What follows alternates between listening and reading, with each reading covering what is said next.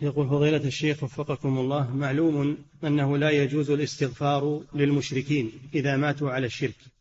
فهل يجوز الدعاء للقريب الذي مات على الشرك؟ الدعاء له بتخفيف العذاب فقط دون الاستغفار له وإنما يقال اللهم خفف عنه العذاب؟ ما كان للنبي والذين آمنوا أن يستغفروا للمشركين ولو كانوا أولي قربى ولو كانوا أولي قربى وله أبوك. أو ابنك ما ما تدعو له بعد موته ولا تستغفر له. نعم.